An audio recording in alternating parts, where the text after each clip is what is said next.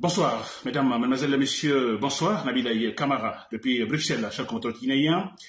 Voilà, j'ai en fait ce thème d'information, cher compatriote guinéen, je l'ai annoncé. Alors, euh, voilà, pour une fois, c'est pas politique, hein, c'est un, je dirais, un fait social. Oui, c'est, en fait, euh, c'est tout un drame, mais que finalement est considéré en Guinée comme en fait un fait social, parce qu'un fait social, nous l'acceptons, vous comprenez. Alors, je parle du taux de mortalité des femmes euh, pendant les séances de l'accouchement, donc dans les hôpitaux, euh, disons, guinéens, dans les hôpitaux guinéens.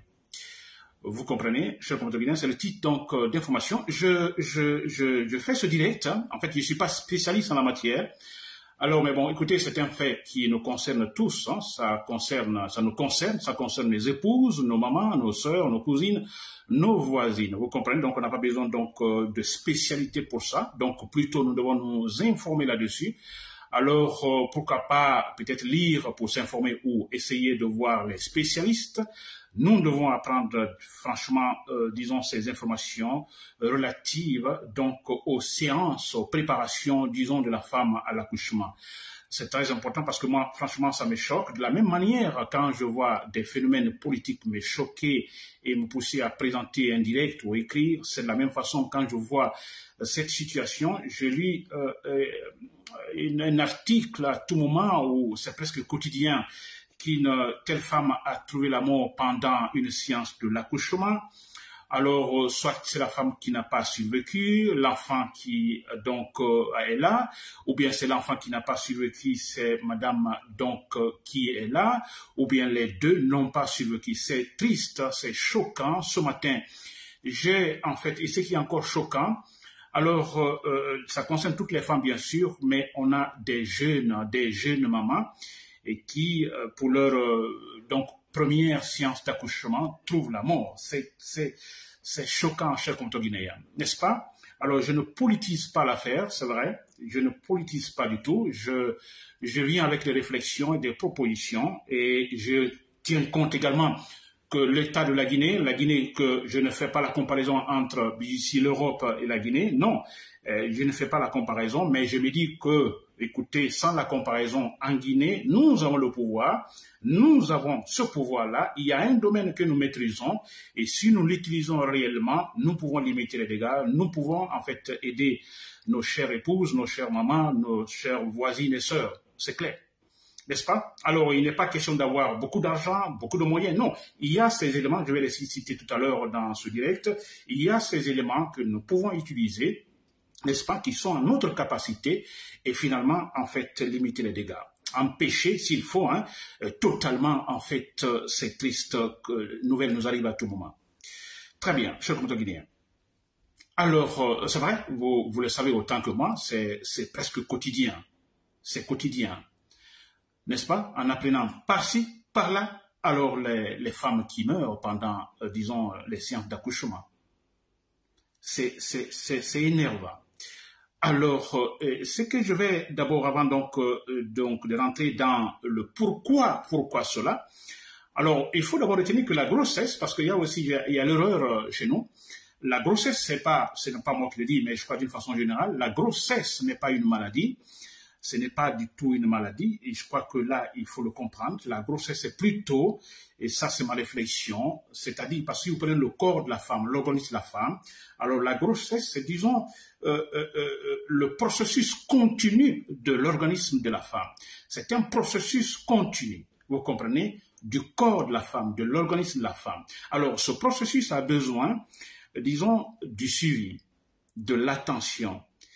Mais c'est vrai, c'est un processus qui a besoin de l'attente. Ce n'est pas une maladie, mais c'est un processus continu. Le corps de la femme est très compliqué par rapport à celui de l'homme. Alors, c'est un processus qu'il faut suivre. Si nous ne suivons pas, alors bon, voilà, il peut avoir des complications parce que ce processus peut à un moment donné s'arrêter, avoir des complications. Vous comprenez? Pendant la grossesse, peut avoir des complications ou maintenant euh, pendant l'accouchement. Ce processus peut avoir des problèmes. Vous comprenez? Et que le, le processus à un moment donné s'arrête. Et s'il n'y a pas suivi, n'est-ce pas? Et s'il n'y a pas prévention, écoutez, vous voyez, ça peut être donc fatal pour la femme. C'est comme N'est-ce pas? Donc, ce n'est pas une maladie, la grossesse, non, pas du tout. Alors, euh, c'est un processus contenu du corps, de l'organisme de la femme qui nécessite un suivi, n'est-ce pas, pendant les neuf mois. La femme est enceinte, vous comprenez, pendant les neuf mois, la femme a besoin donc des soins. Vous comprenez, des soins, bien sûr, je dis bien des soins, d'abord en commençant par le partenaire à la maison. C'est très important, cher bien. N'est-ce pas? Très bien. Alors, mais qu'est-ce qui se passe réellement en Guinée? Alors, une façon d'expliquer les causes donc de tout cela. Pourquoi tout cela?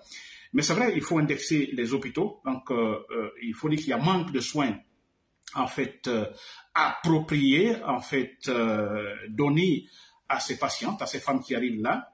Et ça, c'est clair, nous savons tous, donc je n'apprends rien, vous le savez autant que moi, que dans les hôpitaux, d'ailleurs, c'est du capitalisme. Donc une dame peut venir avec sa grossesse, euh, disons, dans l'urgence, souffrant de douleur, vous comprenez, et que, euh, voilà, on, lui demande de l'argent avant, avant toute chose. Vous comprenez? Ou cette dame est là, souffrant, qui souffre réellement, euh, et, et, une autre dame qui vient, alors qui quand même voilà arrive à faciliter ce côté financier. Alors la première dame est totalement délaissée, n'est-ce pas, au profit de cette autre qui vient d'arriver et qui a pu donc financer. Vous comprenez? Alors, donc, il y a ce problème donc en Guinée. Je n'accuse personne, ni le pouvoir politique, parce que ça, c'est un élément qui est là. Alors, mais je dirais tout à l'heure, qu'est-ce que le pouvoir, maintenant, la transition, le gouvernement de la transition, peut faire? Vous comprenez? Bon, il y a peu de temps, mais peut faire quelque chose. Il y a ce domaine-là qu'il faut beaucoup faire, euh, au lieu d'aller dans d'autres situations, etc. Je comprends bien. Alors, donc, vous l'avez remarqué, il y a ce professionnel qui manque donc dans les hôpitaux, c'est vrai, les médecins, et tout le personnel chargé donc de faciliter ces soins appropriés donc à toutes ces femmes qui arrivent là. Il y a ce grand problème, ça c'est clair. N'est-ce pas? Donc il y a un problème de professionnalisme. Comment faut-il soigner cela? Je pense que bon voilà, c'est difficile parce que c'est d'abord au niveau de la formation, n'est-ce pas?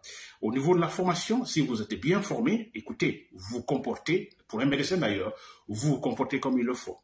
Et également, il peut, il doit avoir des décisions politiques également, c'est-à-dire que c'est fait qu'il se passe que tout soit dénoncé, tout soit dénoncé pour que finalement les politiciens soient au courant et pour euh, donc pallier, euh, disons, tout ça. N'est-ce pas?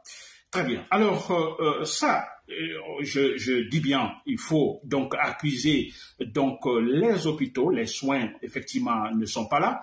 Et c'est vrai que nous avons des cliniques privées vous comprenez Mais ce n'est pas tout le monde qui a sûrement les moyens d'aller dans les cliniques privées, où sûrement les soins sont là, appropriés, mais encore chers. Mais écoutez, il y a les hôpitaux publics quand même. Les hôpitaux publics, alors euh, écoutez, celui qui n'a pas assez de moyens, euh, euh, donc doit être dans ces hôpitaux, mais c'est clair. Alors, ce qui est demandé, c'est que, en fait, le pouvoir, par exemple, euh, facilite l'accès à ces hôpitaux. Non seulement accès à ces hôpitaux, mais l'accès, disons, aux soins appropriés, qu'il n'y ait pas de difficulté dans cela. Je crois que ça, c'est très important.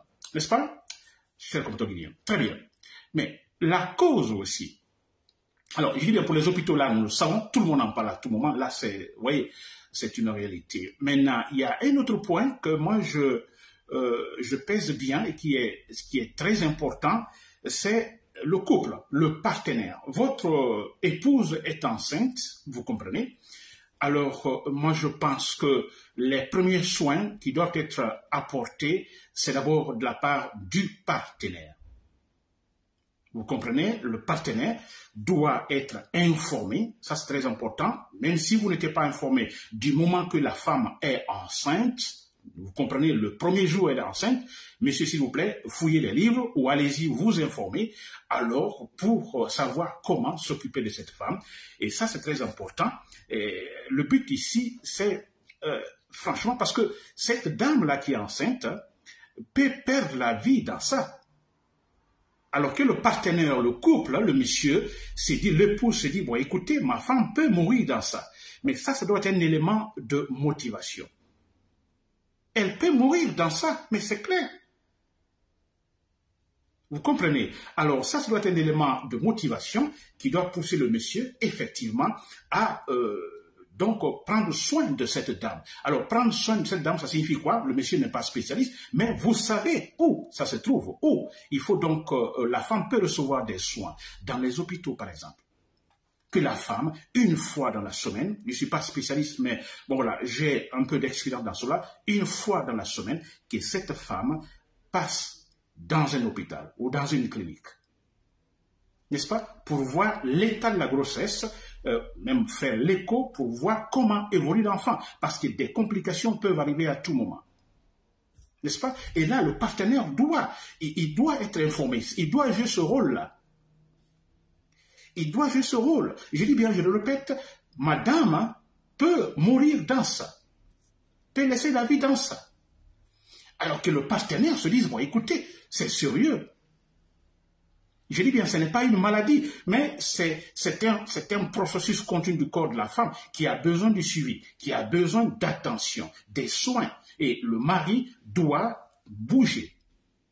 Il doit bouger. Il doit être en mouvement. N'est-ce pas? Pendant les neuf mois. Mais il le faut, cher guinéen. Sinon, à tout moment, il y a complications. Et puis voilà. C'est la triste nouvelle. N'est-ce pas, cher guinéen Oui, mais parce qu'il y a cette habitude chez nous, n'est-ce pas? Et, ça, c'est regrettable qu'on les gens considèrent souvent comme, euh, disons, euh, notre culture. Ça n'a absolument rien à voir avec la culture. On dira, euh, bon, écoutez, Monsieur Nabilaï, mais écoutez, ça c'est ici en Guinée, tu n'es pas en Guinée, ici c'est c'est la Guinée, il y a une, notre culture, etc. Monsieur, ça, ça n'a absolument rien à voir avec la culture, c'est de mauvaises habitudes. C'est de mauvaises, très mauvaises habitudes. La culture est plutôt, en fait, une valeur de référence. La culture, c'est une valeur de référence. Tout est positif dedans. Vous comprenez? Je me réfère à quelque chose, c'est un modèle. Alors, je dois accomplir un acte donné, alors je me réfère à un élément de la culture qui est en fait une valeur de référence. Ça, c'est la culture. Mais les mauvaises habitudes, non. Une mauvaise habitude, mais écoutez, laissez sa femme parce qu'elle est enceinte. Vous dites non, bon, écoutez, euh, Dieu est là. C'est grave. N'est-ce pas? Alors euh, ça, je crois que ça, ça doit être très important. Franchement, on dira que les hôpitaux, là-bas, il n'y a absolument rien. Mais moi, je me dis, si le monsieur, le partenaire est motivé, le partenaire, en fait, est franchement, alors se lève réellement, sachant la gravité de la situation, si jamais il y a complication ou il y a l'arrêt de ce processus continu du corps de la femme, alors si monsieur donc prend conscience de tout cela, on peut éviter beaucoup de choses. Vous comprenez? Il se passe souvent des cas à, l'hôpital où la dame qui vient, elle est enceinte, souffrante, elle est, souffrante, et écoutez, elle est totalement mise à côté, au profit d'autres. Et le partenaire qui, qui vient, qui tape le poing sur la table en disant ce n'est pas possible. N'est-ce pas? Ce n'est pas possible. Il faut des réactions pareilles. Alors, ou bien, en toute façon, il faut passer par tous les moyens. Vous n'avez pas d'argent, alors vous cherchez l'argent. C'est-à-dire, s'il faut même aller chercher un prêt, pour envoyer cette dame-là donc dans une clinique donnée, alors il faut le faire, monsieur, parce que c'est important. Il y a une vie qui est en danger. Si jamais il y a complication, parce que chez nous, effectivement, nous n'avons pas ces hôpitaux ici. Il faut, en fait, le suivi doit être fait. Je dis bien, une fois dans la semaine, minimum, une fois dans la semaine, la femme doit être à l'hôpital. Et on doit voir l'état de sa grossesse, l'état de l'enfant dans le ventre de la dame. N'est-ce pas? Cher combattant guinéen. Alors, euh, c'est... Après cela, qu'est-ce qu'il faut dire? Qu'est-ce qu'il faut faire? C'est ce que je dis, par exemple, euh, en ce qui concerne les hôpitaux, et c'est vrai, c'est dans un état habituel, là vous le savez, c'est vrai, c'est du commerce dans les hôpitaux. Alors, euh, au pouvoir, disons, politique, hein, le pouvoir de la transition, alors de prendre des décisions, par exemple, concernant ces genres de comportements. C'est vrai. C'est un hôpital public, nous avons des hôpitaux publics, vous comprenez? Alors financés par l'argent de tout le monde, alors qu'on essaie de faciliter l'accès aux soins appropriés dans ces hôpitaux. N'est-ce pas?